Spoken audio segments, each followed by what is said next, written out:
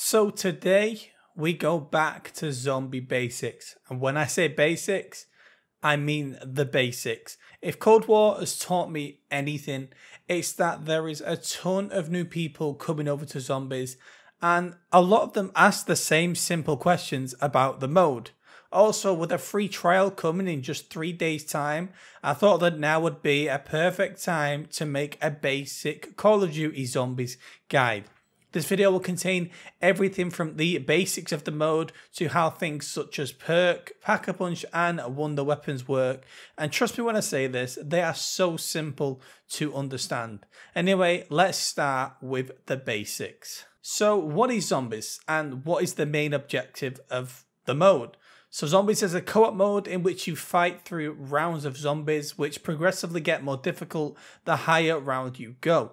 You get to create a class in the main menu with a lot of options to upgrade the firepower of your weapon as you play.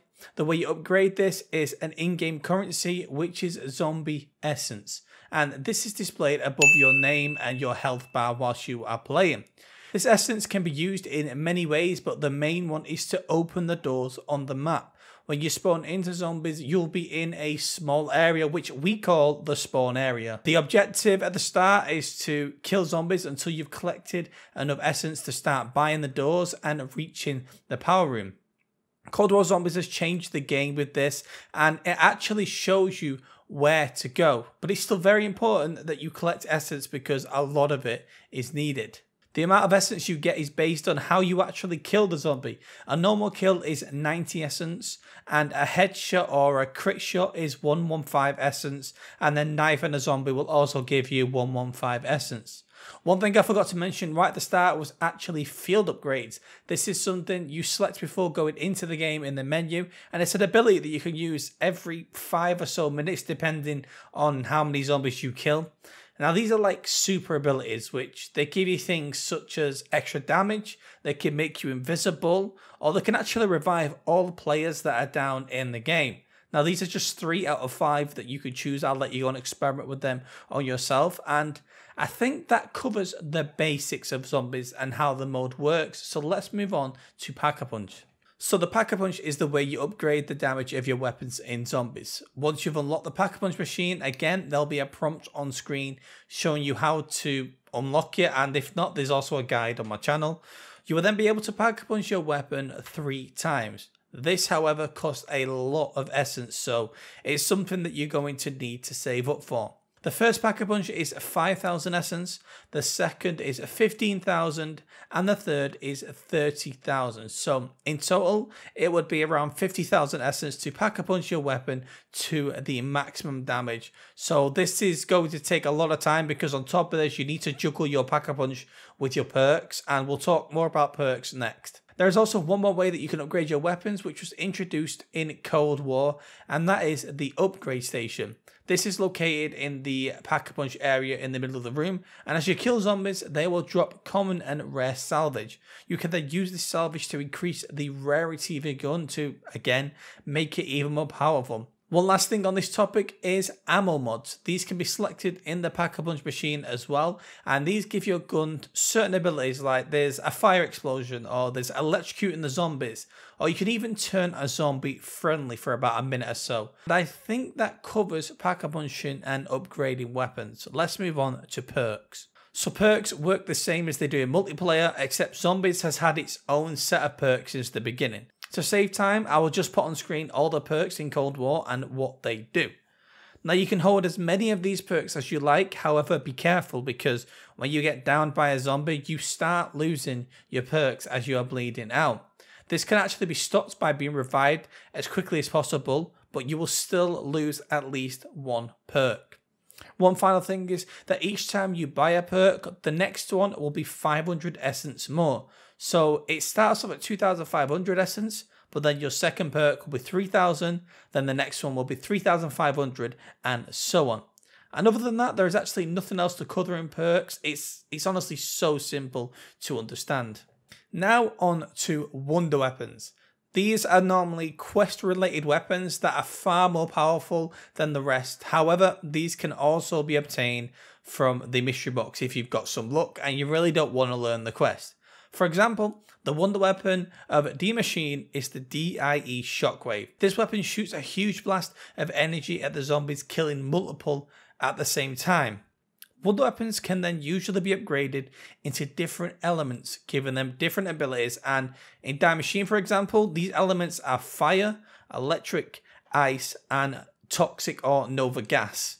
Each of these elements will have their own little unique quest line to get them, and this, unfortunately, is the only way to get an elemental upgrade. You cannot find these upgrades inside the mystery box. However, the quests are super simple to do. They're honestly like one or two step quests and they're really easy to do. I have a guide for them on my channel for you to check out. On top of this, you also have the ray gun, which is a super powerful but very rare weapon. And this goes even into the round 100 plus and is still as powerful as it was before.